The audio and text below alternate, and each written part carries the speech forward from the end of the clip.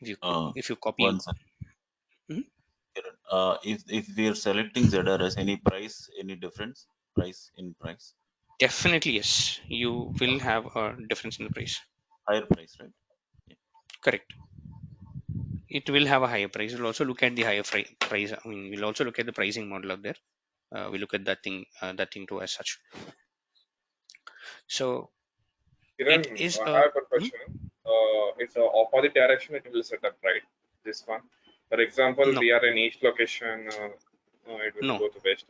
Okay. this is zone within the same region this is the primary region you are not getting a secondary region it is not the opposite location if you want an opposite location meaning if you're saying it's in east us i also want my data in west us that's a different option altogether that's a different redundancy model altogether which we'll talk about which i'll come to in a second but this is in the same region. That's what that's what that's what i was telling you. It is it will still be in east us2 only but in east us2 there is just not one data center.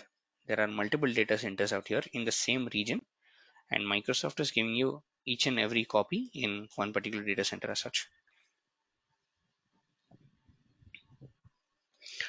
And here it's telling that you know what the sla is slightly better it is 99.12 times 9 over a given year. Happens synchronously out there over let's say so many things as such. This is zrs synchronous 99.12 times 9 meaning the sla is slightly better out here. And i still have a question to microsoft telling that okay fine you know what? What if the entire region is down? Like you know what if the entire east us2 is down? I have three copies yes. But what if the entire region itself is down that's where microsoft will tell okay fine then you should have gone for another option called grs geo redundant storage. Uh, that's what someone was asking is that it will create in an opposite region? No. Zrs will not create it. Grs does. If i just scroll down there is something called redundancy in the secondary region in the form of something called grs geo redundant storage copies your, copies your data synchronously three times within the same physical location.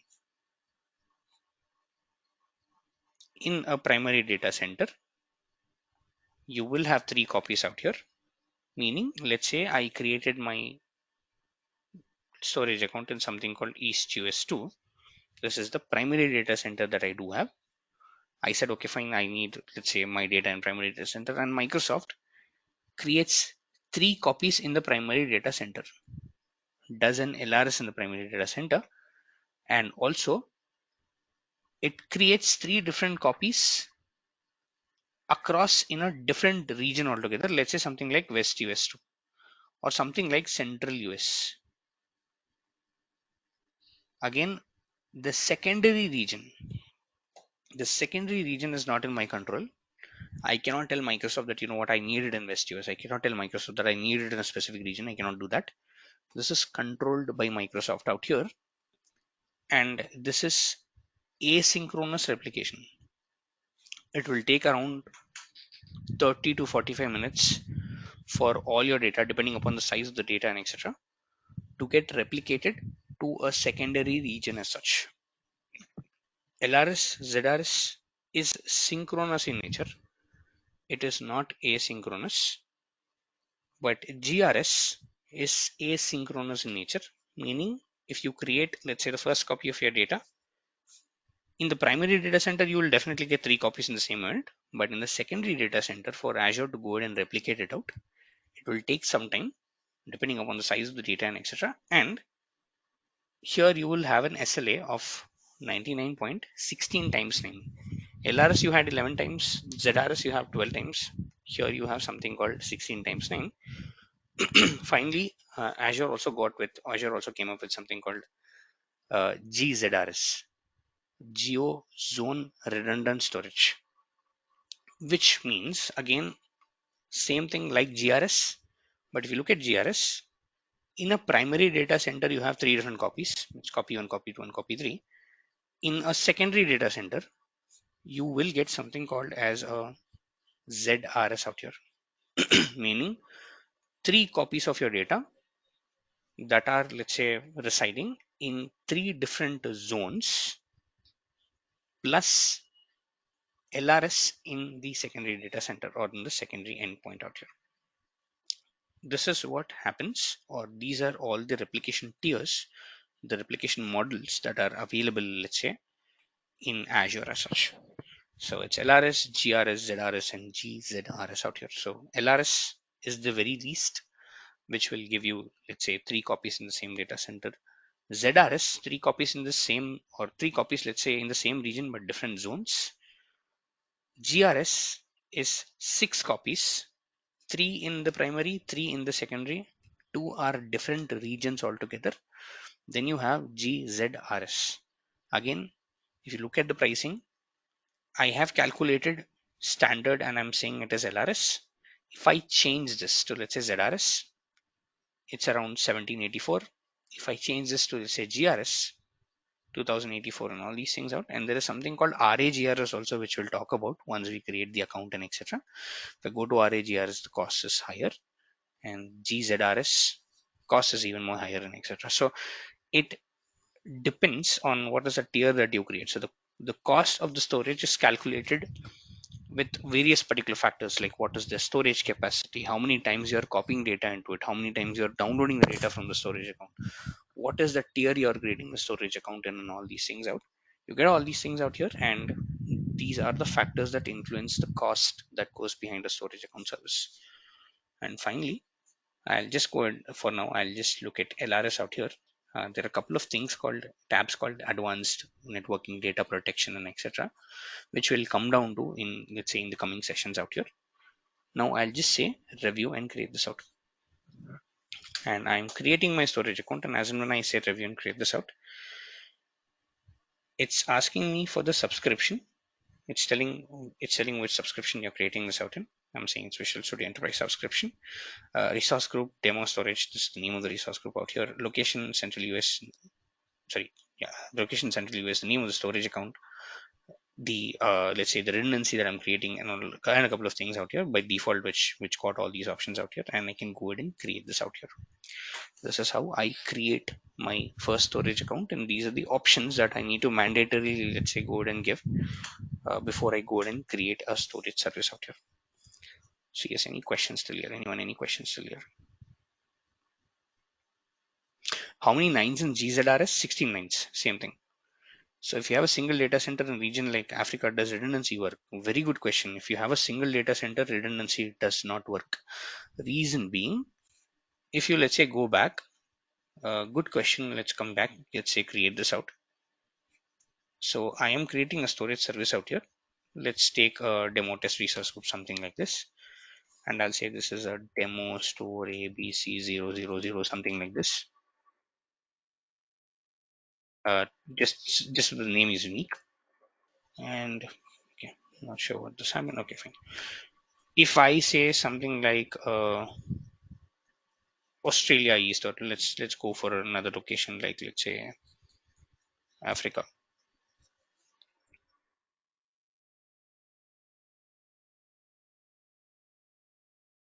now africa does support all these things so you can go ahead and you know let's say have all the replication options out here you can do that.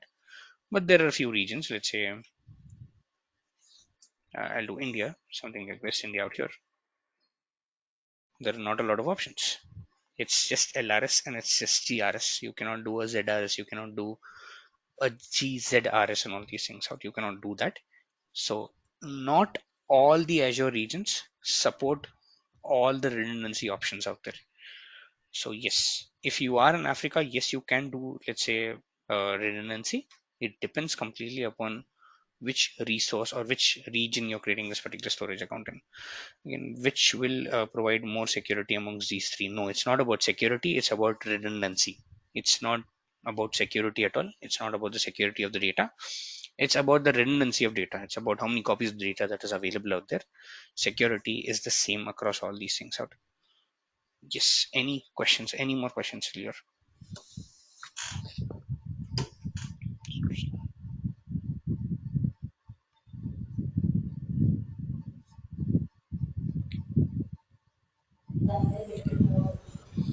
Yeah, hi Kiran. Any subscription level will impact uh, if uh, we are in the redundancy concept?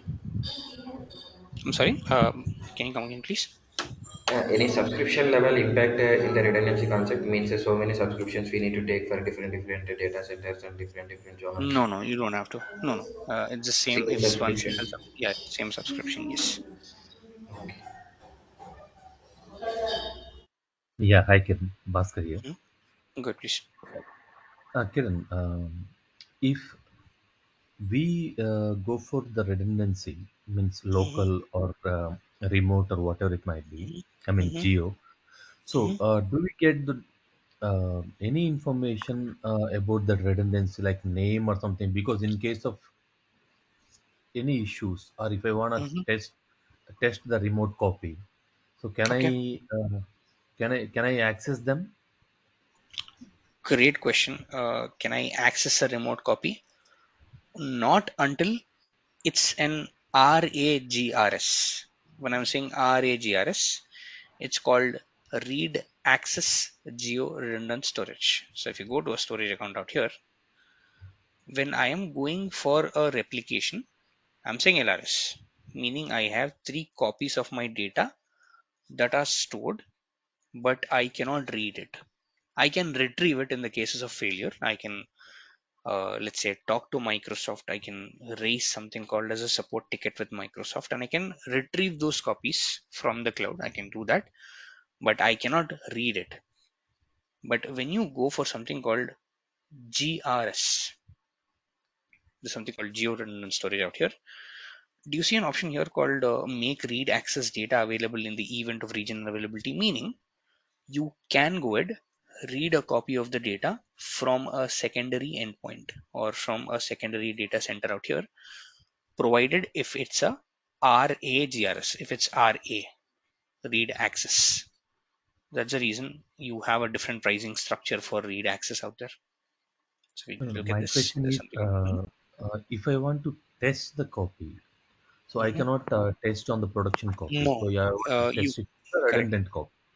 Co- correct. You cannot how- test the redundant copy. No, you cannot test it. Redundancy is just for disaster recovery scenarios. You cannot test that particular copy of. You cannot test that particular copy of data. The only way you can actually go ahead and let's say test the copy of data is in the event of failure when you have something called RAGRS. So you cannot test something. You are guaranteed that your data is available. So when you say test the data, you know what would you really do? You upload the data or change the data and all that stuff, right? You can only change on your primary copy. You cannot change or you cannot do any changes on the secondary copy as such.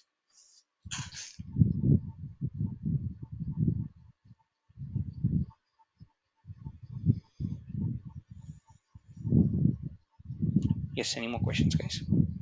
What is the maximum speed in uh, standard?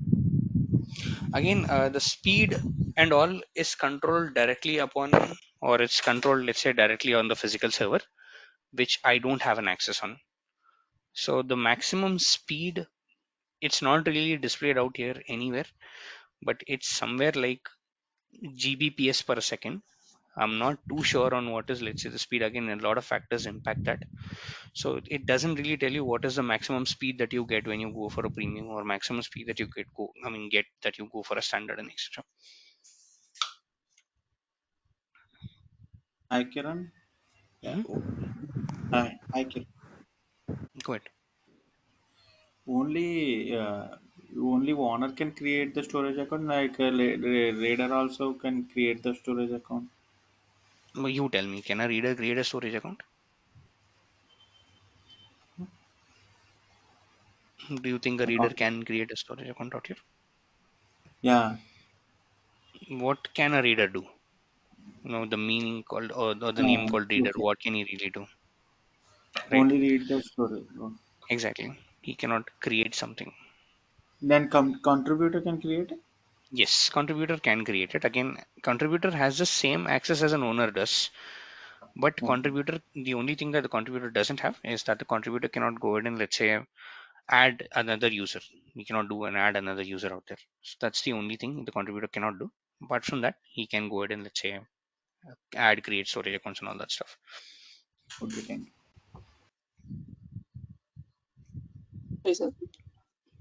Good, please. sir, for example, uh, my app is running on uh, South India. Mhm. So as I said before, uh, so in that region only you have to take the storage, right? Correct. Correct. So same like that. Right now here, uh, my South India only I'm taken the storage, but I'm Mhm. taking here uh, GZRS. Okay. Okay. So I have a multiple uh, uh, sources I have, and the storage also they are given to Microsoft. Mhm. So no need to take any uh, central India, right? For example, central if I am taking a central India, it's a too much of Mhm. price. So that's why I'm Mhm. choosing a South India. That's a little bit lesser cost. So Mhm. in that time, uh, it is work on not in the app. So if I say India, so let's go to India out here. This is South India.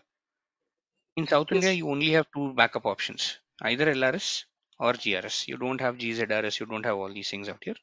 Either Okay. LRS, GRS, or something called RAGRS. So again, not all the Azure regions support redundancy. So if you go here and let's see the documentation out here, this is what it tells you. So let's say ZRS. This is ZRS out here, and it's telling you that these are the only regions which support ZRS.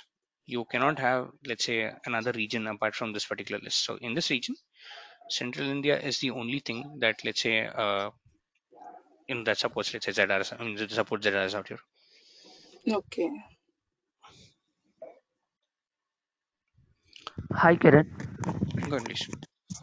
Uh, we are taking the storage data and uh, storage one uh, automatically మనం copy. After that, uh, storage two, storage three automatic copy. That's it. Correct. This is automatic. You don't have to do this. These are all Okay. taken care by Microsoft. The copy is taken care by Microsoft.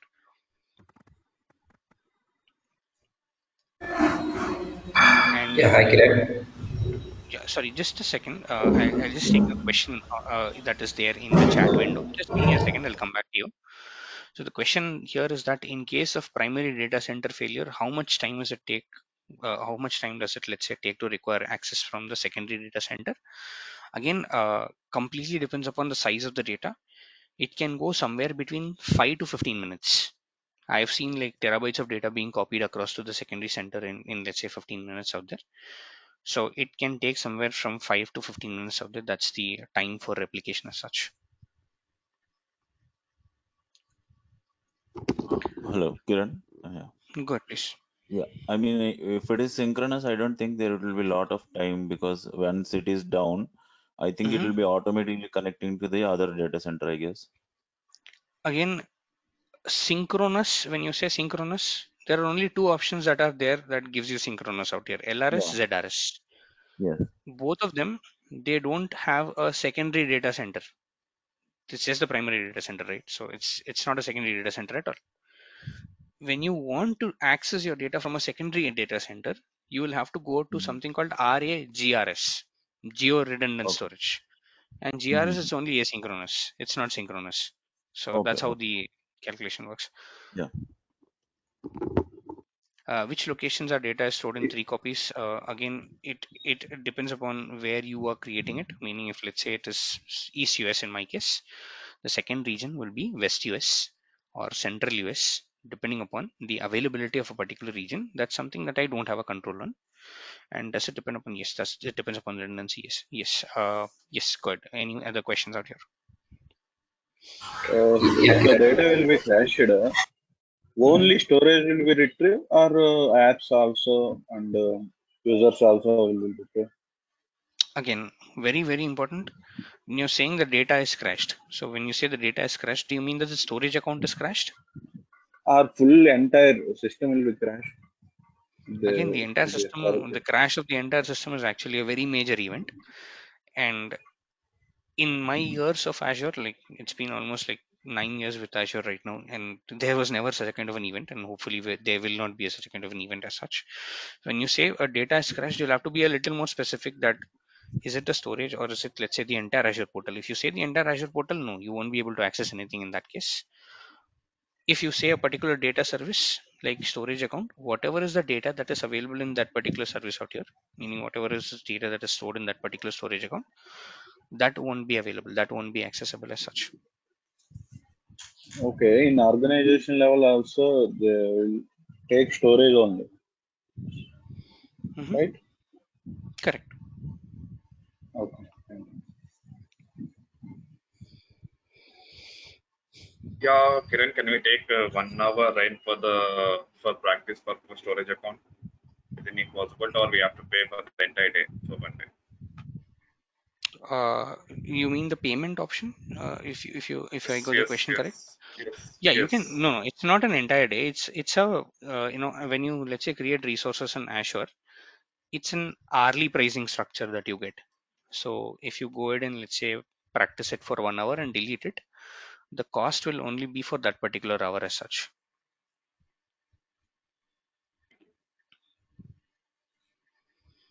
Someone else had a question. Ravi, I think you had a question. I, I had to answer. I had to let's say answer the particular question. Someone else had a question, is it? Yeah, in the case of a GRS, so our data will be spread all over the globe. In the case. In the case of GRS, data will be spread all over the globe. No. In the case of GRS, the data will be spread between two different data centers. One primary, the second is a secondary. Let's say my primary is East US, secondary will be something like West US or Central US as such. It is not all across the globe. Okay, geo is not like uh, it's entire the globe, just in No, the it's not wise something. Okay. Correct. okay. Tell me storage account interview questions. Storage account interview questions. Great. Good one. Uh, I almost forgot that. Let's give that interview questions as well. Let's, I'll just forward the link across to you all. Just give me a second. Uh, where to start? Let's see. I have a lot of accounts out here and it's a little difficult for me to manage. Let's come back here. I'll just send across the interview link out here. Good, good question or good reminder. Let's go in here and I'll also explain what is service and all that stuff. But yes, you can take these as the interview questions. Again, there are a lot of topics that I need to cover. Once we cover those, I will tell you what are the interview questions and all these things. Are. Again, the assignment that I want to give you all today is create a simple storage account. Just do with the first, let's say the first page on what is the redundancy and all these things out. And just understand on the overview what all that you see here. And my assignment for you all is read the replications. Very, very, very important. Please read the replication in very detail. If you go here, this is the documentation for replication. I'll just uh, share the same thing across to you all.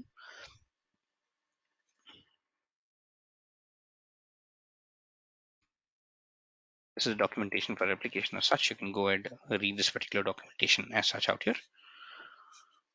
Or you can just come here, click on this button and say learn more.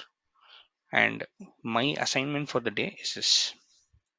Create a storage account in LRS. And after creating the storage account, the question here is that can you change it to GRS? If yes, how can you change it? Where can you change it? Please Google it out. Please try this out in tomorrow's class. I'll answer how do you change it and all that stuff. But before I go ahead and tell you all, please try it out so that you do some Googling and you do some searching at your own and all these things out here. Yes, any more questions here, guys?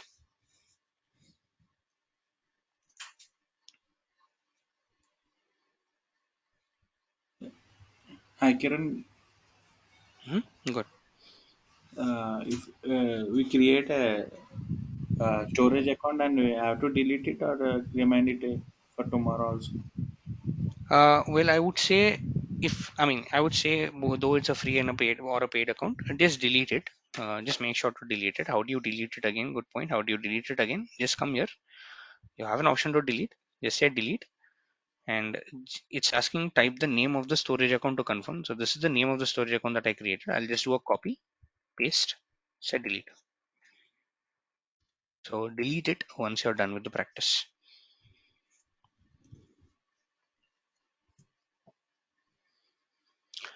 All right, so with that, I'll close today's session, and tomorrow uh, again we'll resume our offline batches tomorrow, guys. So uh, today I had a little bit of let's say uh, challenges to come offline. From tomorrow, we'll again start with both offline and online again. So you can come to the class tomorrow as well. I mean, you can start coming to the class from tomorrow, and let, let's start the, the session tomorrow with a couple of questions, and then let's go into let's say the data storage and all these things out there. Thank you, guys, and have a good day ahead.